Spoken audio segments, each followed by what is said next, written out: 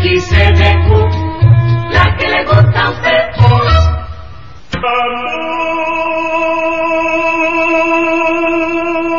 Es el grito a cuyo conjuro la selva virgen despierta en todo su salvaje y primitivo esplendor.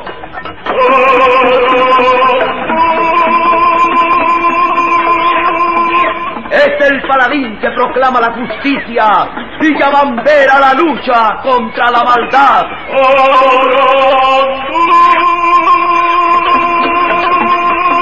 Es el príncipe de la selva. Yo soy Arandú, hijo de los soberanos del reino del Italcotsuyo. Mi lema, la justicia. Mi ideal, la redención de los humildes.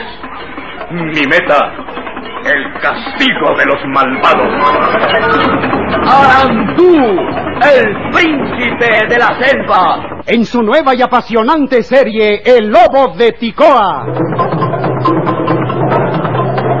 Escrita por el internacional Armando Couto, interpretando a Arandú el primer actor Guillermo Romano y con el mejor elenco del radio.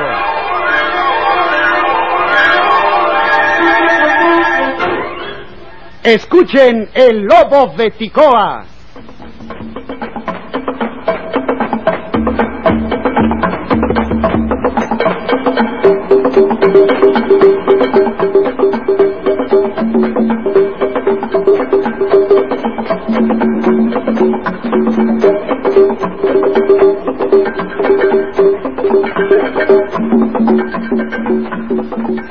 Después de explicarle sus planes, Arandú pide a Misula que pida a los indios cazadores que se reúnan esa noche con él en la explanada consagrada al dios Icuatelú.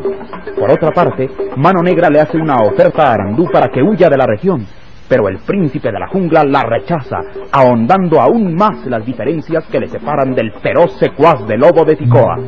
Aquella noche, a la hora señalada, Arandú llega a la explanada y allí se reúne con los cazadores indios que le estaban esperando.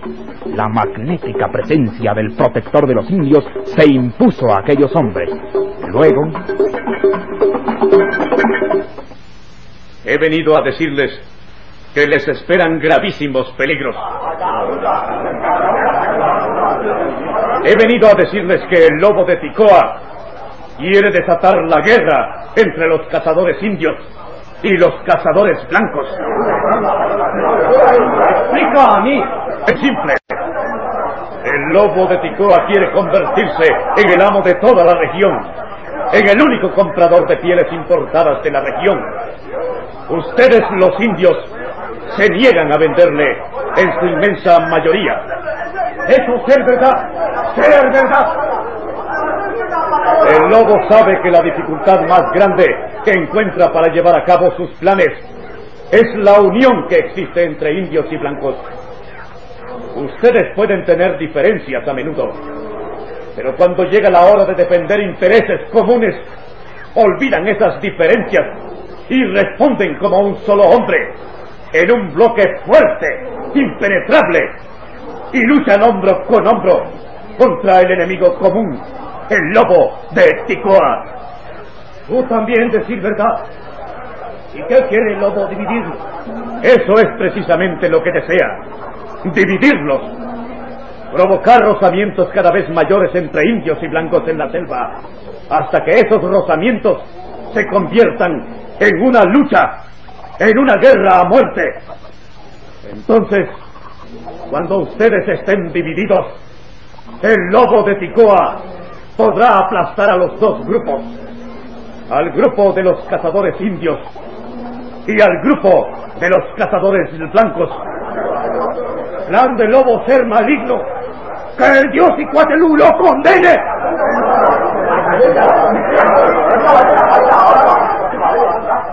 El lobo quiere llegar pronto a dominar toda la zona.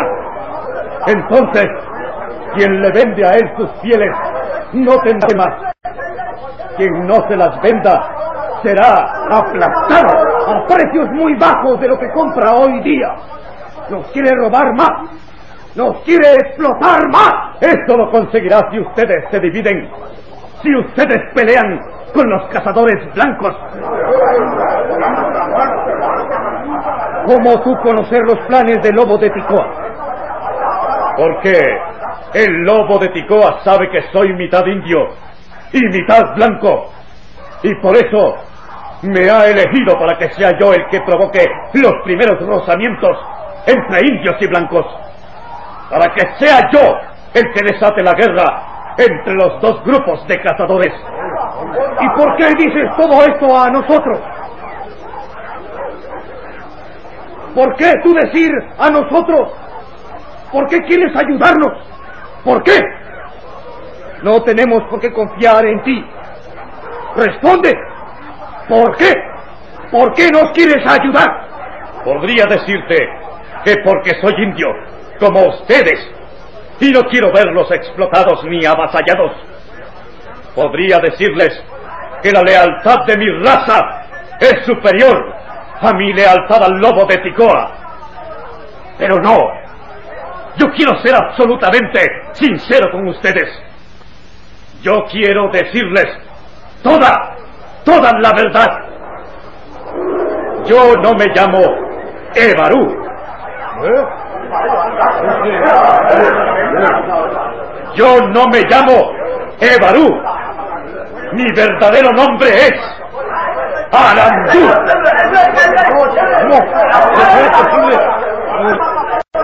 Yo soy Arandú de la selva.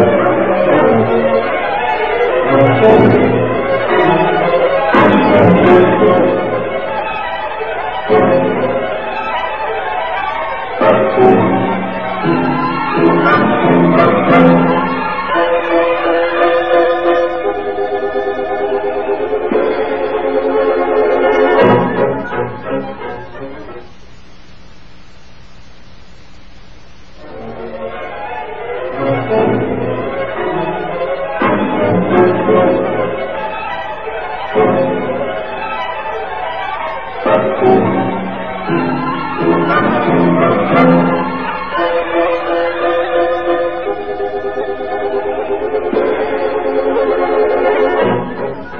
había hecho un silencio de muerte en la explanada que solo rompían los ruidos de la noche. Los indios se le miraban asombrados unos, recelosos otros. El príncipe de la jungla había cruzado de nuevo los brazos sobre el pecho y les miraba sereno, majestuoso. El cabello le caía sobre los hombros y un fino cintillo de plata estaba ceñido a su frente. Nunca lució más poderoso que ahora.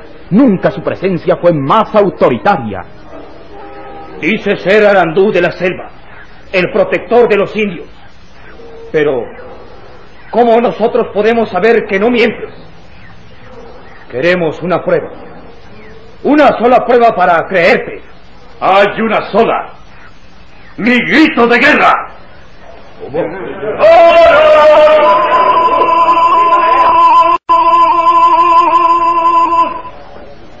¡Ser Arandú! ¡Es Arandú! ¡Arandú de la selva!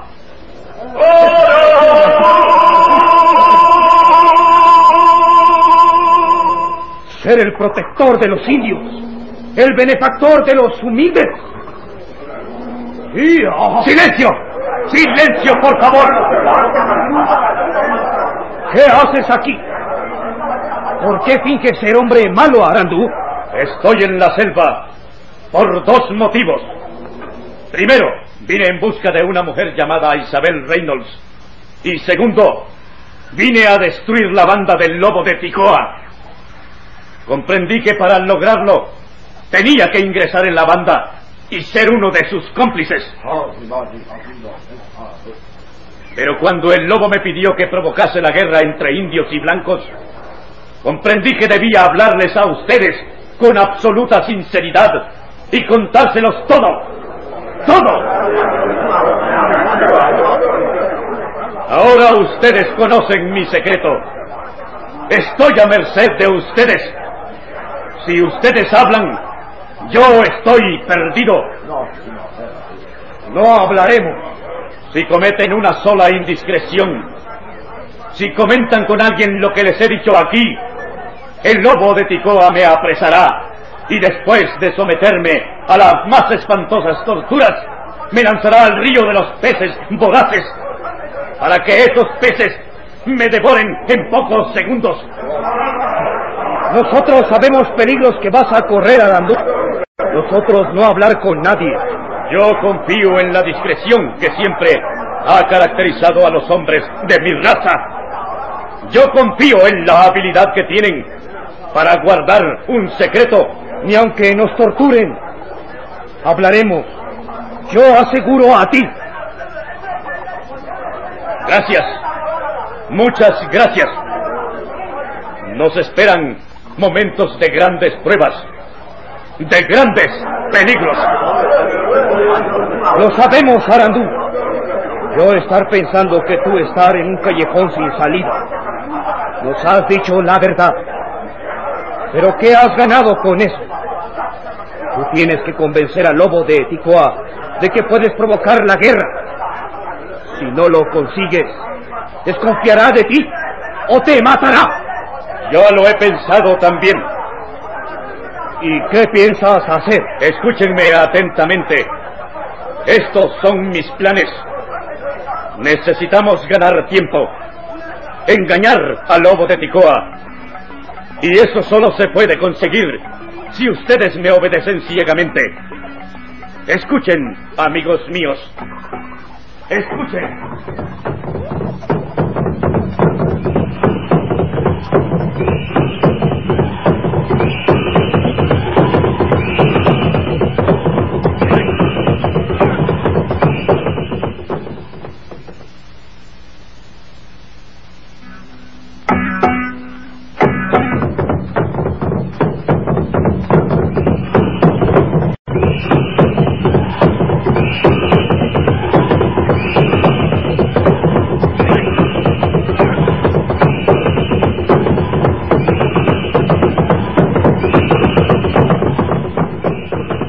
De la Selva explicó a los cazadores indios los hábiles planes que había concebido para ganar tiempo y al mismo tiempo engañar al lobo de Ticoa. Los indios hicieron algunas observaciones y otros aportaron valiosas sugerencias y finalmente todos se pusieron de acuerdo. Para que un plan de esta naturaleza pueda ser llevado a cabo, se necesita un jefe central al que se obedezca ciegamente. Yo propongo al indio Tomani. Eso ser demasiada responsabilidad para mí. Yo propone que el jefe de todos nosotros sea Arandú. Pero Solo pero tú que- puedes guiar a nosotros en estos momentos. Tú serás el jefe. Acepto la jefatura. Tomani será mi auxiliar. Mi sula servirá de puente entre ustedes y nosotros. Y ahora debo irme. No puedo permanecer por más tiempo en la selva.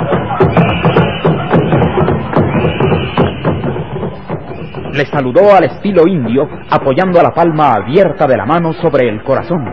Los indios le imitaron. En silencio, mediante aquel saludo, juraban que serían leales entre sí hasta la misma hora de la muerte. Luego, flexible, musculoso, épico, Arandú de la Selva desapareció por el sendero que conducía a la selva. Los indios se fueron acercando a la enorme imagen de Icuatelú, dios de las cuatro venganzas, dios de los cuatro brazos, y cayeron de rodillas frente a la imagen que tanto veneraban. Hoy, Cuatelú, Dios Todopoderoso, protege a Arandú. Y Cuatelú, Dios de los cuatro brazos, de las cuatro venganzas, protege a los cazadores indios.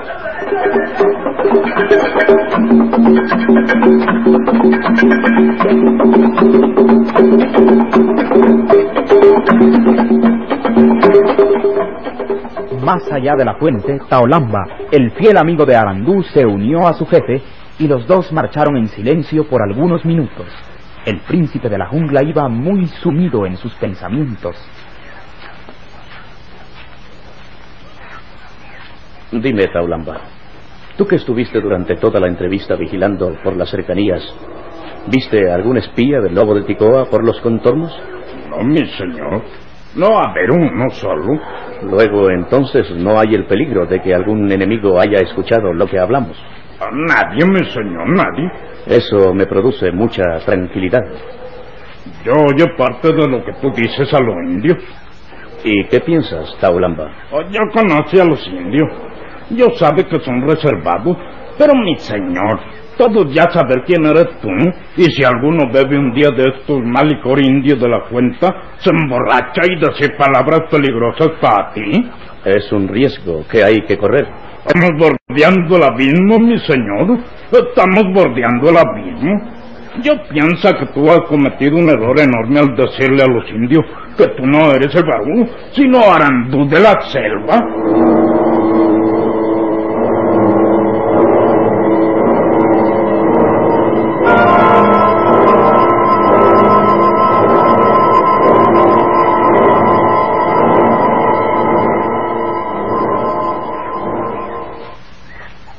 El príncipe de la jungla se acerca al lobo de Ticoa.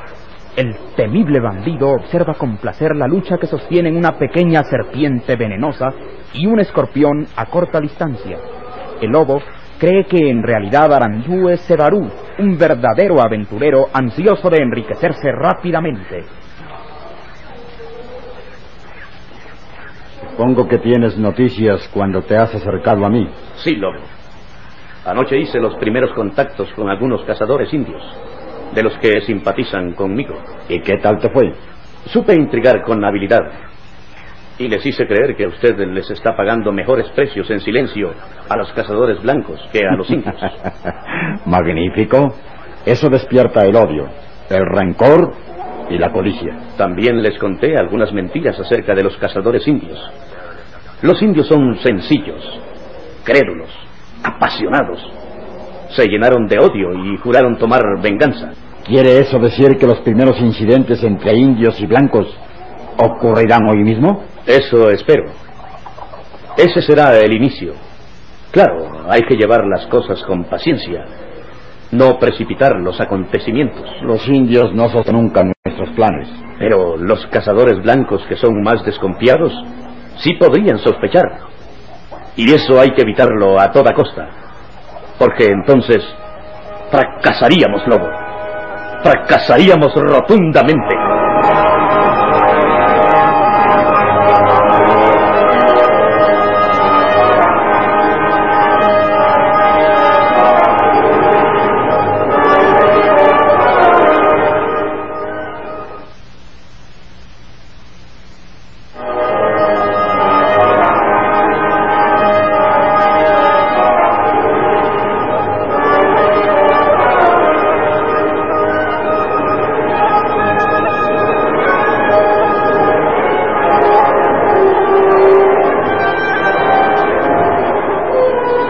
De Ticoa miró largamente a Arandú de la selva. Luego, con gesto característico, se acarició la negra barba que cubría su cara. El lejano rugido de un tigre rompió el silencio matinal. Luego, Lo piensas todo. Lo que dices es muy razonable. ¿Le molesta? No. Pero es que no me agrada tener gente demasiado inteligente a mi lado. ¿Por qué? La experiencia me ha enseñado que eso siempre resulta peligroso. Pero en fin, te necesito y te seguiré usando. Puedes irte. Con permiso.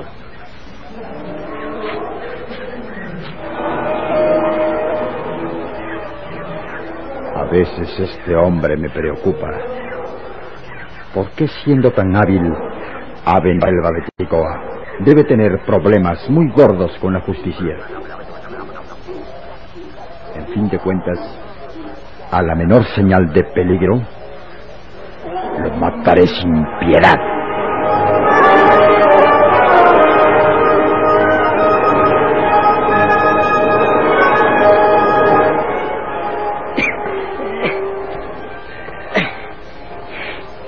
allá en el sótano donde lo tienen prisionero, el conejo Logan ha hecho un profundo hueco entre los troncos y por allí se propone escapar. Para hacerlo se está valiendo de un pedazo de hierro ancho que encontrara abandonado en el sótano. Al sentir el rumor de los pasos,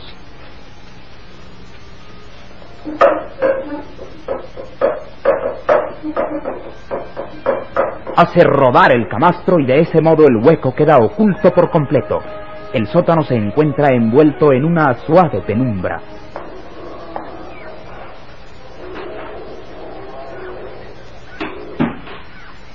De nuevo. Sí, conejo Logan. ¿Qué desea? Hablar contigo. ¿Y cree que es posible una conversación entre los dos después de todo el daño que me hizo? Después de tenerme prisionero en este sótano. Merecías la muerte. Porque estabas dispuesto a no solo chantajearme, sino también a matarme. Y luego conseguir una recompensa del lobo de Ticoa. Pues te proponías contarle quién era yo después de asesinarme. Negocios son negocios. De acuerdo con ese razonamiento, yo estaba en mi legítimo derecho de eliminarte. ¿Sabes por qué no lo hice? Porque yo no mato a un enemigo a mansalva, a un enemigo que no esté en igualdad de condiciones para la lucha. Y tú, tú no podías enfrentarte a mí. ¿Una otra razón tendría usted? Ninguna, conejo. Esa nada más. Créeme, no puedo apartarte de mi mente. No me diga que siente compasión hacia mí. No, en lo absoluto. Sé que eres un canalla de la peor especie. Una víbora. Gracias. Me ha retratado perfectamente. Las serpientes más traicioneras de la selva son inofensivas comparadas conmigo. Y ahora fuera de aquí, Arandú. Fuera de aquí. Vine a hablar contigo y no me iré sin hacerlo. Fuera he dicho. Está de por medio tu libertad. ¿Mi libertad? ¿Mi libertad? Sí, sí, tu libertad. ¿Yo estoy capaz de dejarme libre sabiendo todo el daño que puedo hacerle? No, no sería tan torpe.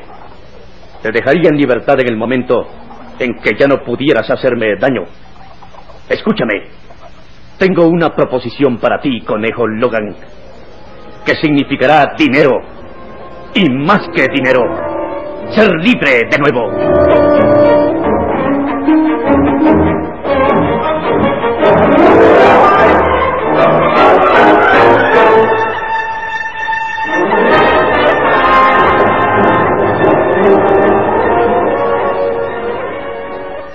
Así fue como presentamos otro capítulo de El Lobo de Ticoa, de su serie estelar.